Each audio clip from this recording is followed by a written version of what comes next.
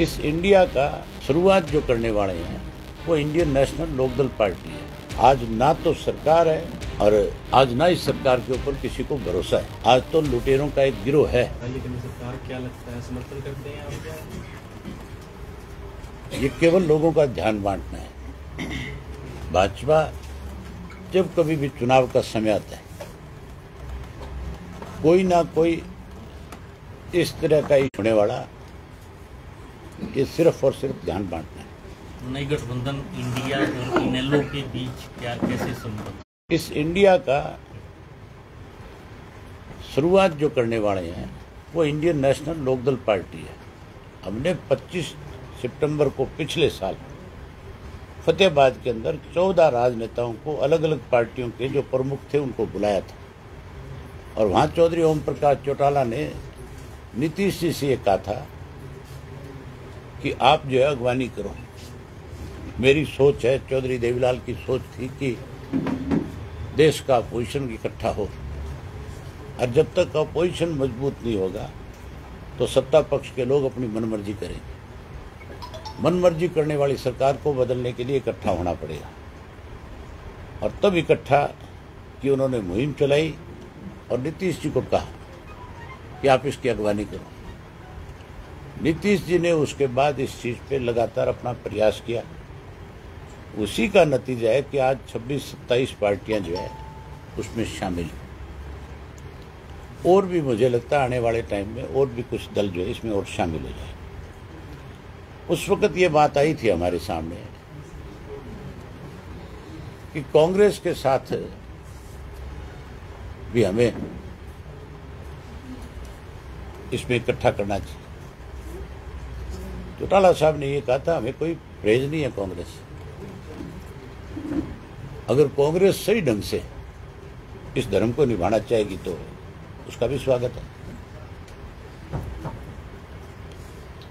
CAG की report आई है sir? उसने कहा उसमें स्पष्ट लिखा है कि ये सरकार नहीं भ्रष्टाचार चल रहा है।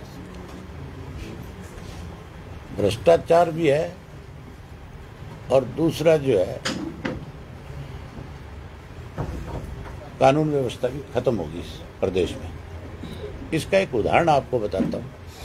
आप विज साहब से पूछना विज साहब से मिलते हो आप लोग। आप उनसे ज़रूर पूछना कि जब नू का दंगा हुआ था,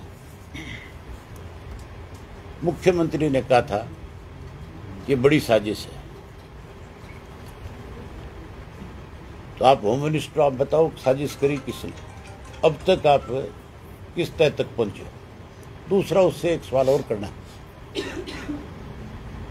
कि आपने ये बात प्रेस के सामने कैसे कही कि सारे इशू पे मुख्यमंत्री ही बता सकता है?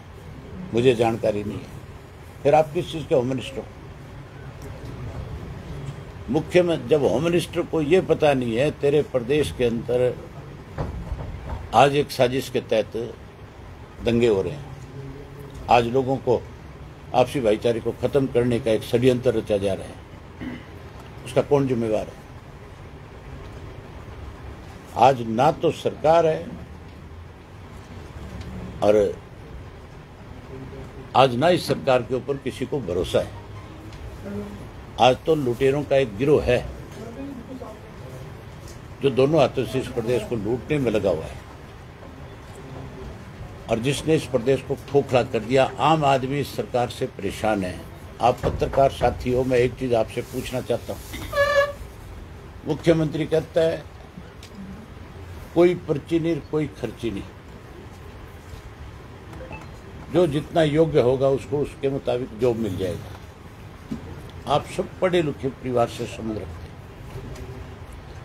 आप पढ़ी लिखी कम्युनिटी के लोग हो। आपके घरों में बच्चे होंगे आपके भाई होंगे बहन होंगे जिन्होंने फार्म भरे होंगे। कोई एक भी नौकरी लगा? तुम्हारे में से मैं पूछ रहा हूँ कि जितने तुम हो कि लगे किसी एक का? नहीं किसी लगे क्या किसी का? तो फिर पर्ची खर्ची कहाँ गई? है? जो नौकरी लगते हैं, इसका मतलब वो खर्ची दे करके लग रहे हैं। फिर तो सीधा सा तरीका है। इन्होंने तो पर्ची और खर्ची के नाम के ऊपर लूट मचाई है। किसी भी आदमी को आज नौकरी बिना पैसे के नहीं मिलती। कोई मेरिट नहीं है इनकी। जितने भी लोगों को जॉब देते हैं, उससे पहले एडवांस में तनख्वाह के पैसे लेते हैं कि पैसे दो, फिर नौकरी लगाएँगे। चौधरी ओम प्रकाश चौटाला का राज था। नौकरी लगते थे कि नहीं लगते थे? लगे कि नहीं लगे? आप जैसे साथियों के बच्चे भी लगे। अगर किसी पत्रकार ने कह दिया, ये नीडी है, अरे पढ़ा लिखा बच्चा, इसको नौकरी की ज़रूरत है तो उसको भी नौकरी मिली। वो होता था नौकरी देना। आज नौकरी नहीं दी जा रही। आज तो बेची जा रही है। हमारा राज बनाओ, आप हमारा सहयोग करो। हम जरूरतमंद को हर एक को रोज़गार और नौकरी देने का काम करेंगे। हम कोई पक्षपात नहीं करेंगे। हर हालत में लगाएँगे।